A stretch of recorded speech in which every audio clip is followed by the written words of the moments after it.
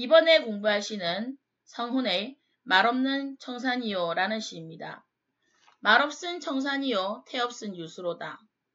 말이 없는 것은 청산이요 모양이 없는 것은 흐르는 물이로다. 청산과 유수는 의연하고 꾸밈이 없는 존재입니다. 값없은 청풍이요 님재 없은 명월이라. 값이 없는 것은 맑은 바람이요 주인이 없는 것은 밝은 다리로다. 이 중에 병 없은 이 몸이 분별 없이 늙으리라. 값이 없는 것은 맑은 바람이요. 주인이 없는 것은 밝은 다리로다. 청풍과 명월은 마음껏 즐길 수 있습니다. 그래서 탈세속적이며 탈욕망적 자연입니다. 초장과 중장의 청산, 유수, 청풍, 명월은 이해관계에 얽매이지 않는 탈속적 삶을 추구하는 화자가 지향하는 자연을 의미합니다. 그래서 이 자연물은 이익을 다투는 혼탁한 세상과 대비시키고 있습니다.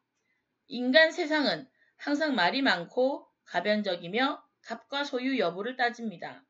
시적 화자는 이런 세상이 이름과 이익을 벗어나 진정으로 자연에 귀의하여 인간 본연의 순수함을 찾고자 합니다.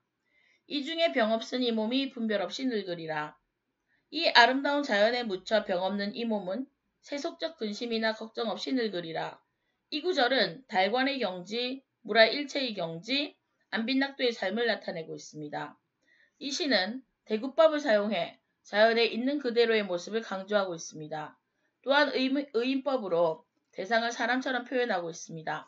자연물에 가치를 부여해 주제인 자연을 벗삼는 즐거운 삶을 제시하며 없은이란 단어를 반복해 시조의 강한 리듬감을 형성하고 있습니다.